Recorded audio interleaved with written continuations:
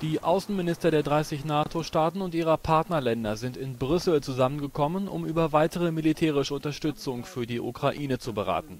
Zum Auftakt des Treffens am Mittwoch warnte Generalsekretär Jens Stoltenberg davor, von einem baldigen Ende des Krieges auszugehen.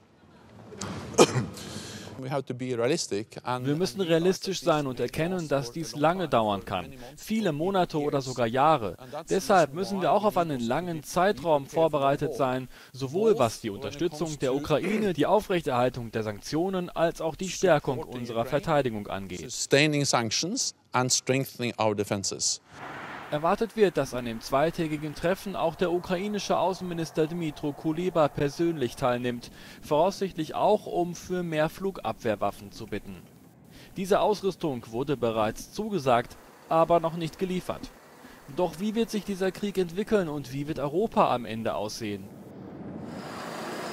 Der US-amerikanische Professor für Geschichte Michael Kimmage geht davon aus, dass ein neuer kalter Krieg den Kontinent verändern wird.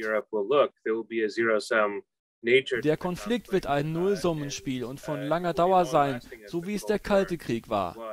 Alles wird jetzt im Sinne dieses Wettbewerbs zwischen Europa, dem transatlantischen Bündnis und Russland definiert werden und das wird Folgen für die Sicherheit haben, wie etwa für Georgien, den Nordkaukasus, die Republik Moldau und zweifellos auch für die Ukraine.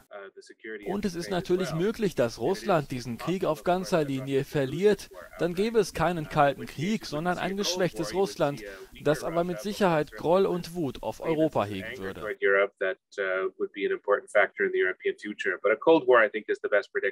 Bei dem Treffen soll auch darüber beraten werden, wie man die NATO-Partner, die sich durch Russland bedroht fühlen, wie etwa Georgien oder Bosnien-Herzegowina, besser unterstützen kann.